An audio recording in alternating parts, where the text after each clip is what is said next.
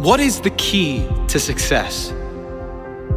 Perhaps it is best summed up by this quote Everyone is looking for the magic pill to success. The one key ingredient, the one single key to success. There isn't one key, there are many. You have the keys, and you have the locks. You just have to do the work.